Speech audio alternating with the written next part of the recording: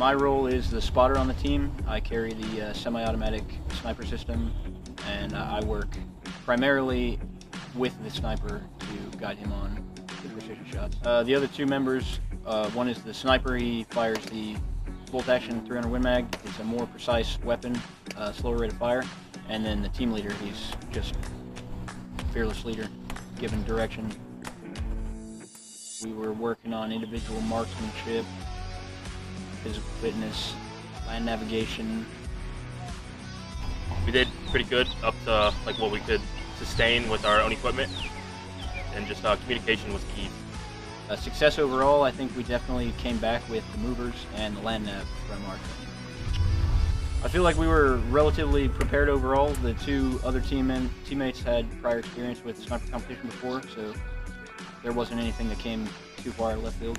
We were able to get in what what we felt was necessary.